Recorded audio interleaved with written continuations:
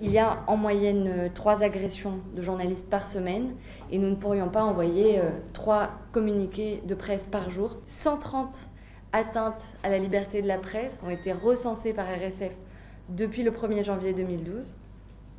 Parmi eux, il y a 90 cas de violence physique, attaques directes sur des journalistes. Si des journalistes se sont rendus coupables de faits de corruption, il est parfaitement légitime qu'ils soient condamnés. Mais c'est une justice indépendante qui doit faire son travail en s'appuyant sur des faits et pas en publiant des listes noires, ni en menaçant de publier des listes noires.